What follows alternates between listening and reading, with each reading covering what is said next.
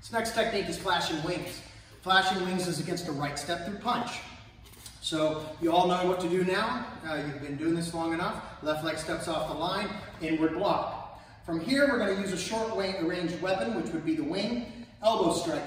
Now, textbook says to forward bow elbow. In my dojo, in my classes, you've heard me say this over and over, the hip is always aligned with the elbow. So if I hit a forward bow elbow and my elbow makes impact here, my hip's back there. So in our school, we like to drag that hip up into a broken bow, letting the hip uh, guide the elbow, which brings more body mass behind the strike. So left leg steps off the line, inward block with the left arm. We drag that hip up, downward elbow, slightly downward angle to collapse the ribs and also create a little uh, height cancellation. So boom. From there, we shift through, creating a figure eight motion as we load up into our left leg, and we're gonna hit the elbow to the back of the shoulder blade okay, of my opponent as I shift back into my neutral stance. Here's where the flashing wings come from. Also, I have a sequential opportunity, depending on the length of my arms and the positioning of their face, I could rake the eyes with an eye slice with my left palm, or left fingers, as I settle.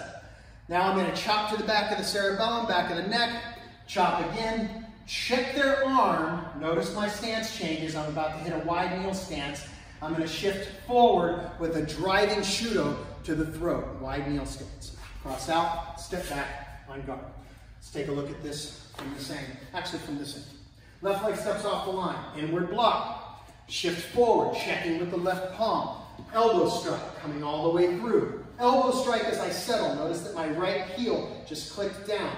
Chop, chop, check, wide kneel uh, uh, stance strike. Cross out, step back, on guard. Okay.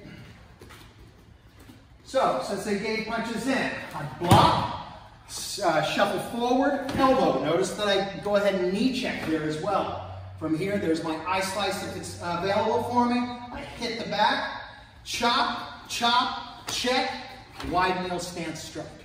Cross out, step back, on guard. Okay, let's try it on the other side. He comes in, block, elbow, elbow, chop, chop, check, strike. Now this strike here, a couple variations. We can use a ridge to the throat, which I really like. It comes a little more natural from here, bam, or the traditional chop to the throat, or just a heel palm. Cross out, step back, on. Cool little technique, thank you, sir. Flashing wings.